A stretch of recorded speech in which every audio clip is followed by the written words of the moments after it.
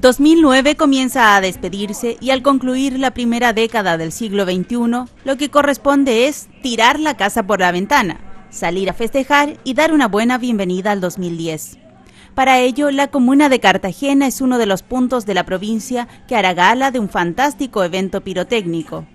Algunos locales cerrarán voluntariamente o por seguridad, sin embargo otros desplegarán su mejor producción para recibir a quienes deseen celebrar en grande. Cenas, música y cotillón se aventuran como atractivas apuestas para pasarlo bien en el balneario de Huidobro. Los precios de una cena de Año Nuevo son variables, dependen de la oferta. Por ejemplo, en el restaurante Bahía, por un valor de 45 mil pesos por persona, se puede degustar de un aperitivo a elección más la cena. Va eh, lomo, Bahía, que es un plato de exclusividad de acá, y en la otra fuente va la fuente marina que es congrio con mariscos salteados. Y eso, acompañamiento con papitas duquesas, ensalada surtida eh, y también eh, el vino.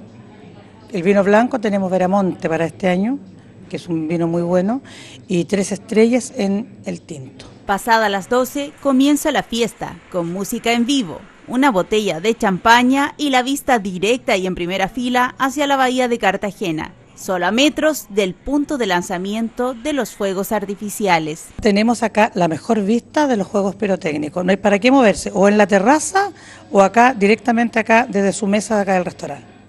Así que es muy lindo, muy entretenido con el cotillón, con todo un ambiente muy familiar. A quienes vivan una noche agitada, lo recomendable siempre en esos casos es comer un buen mariscal o paila marina, capaz de levantar a los muertos.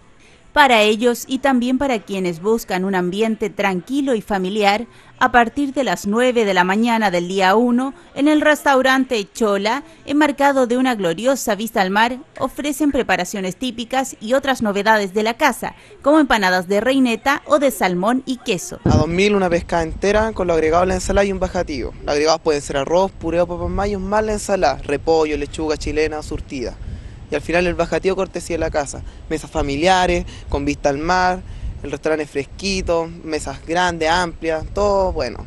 La atención es súper buena y rápida. La carta de restaurantes y locales es amplia. Y si a esto suma el ánimo de disfrutar, el resultado será una velada inolvidable y un fin de semana de descanso y goce junto al mar.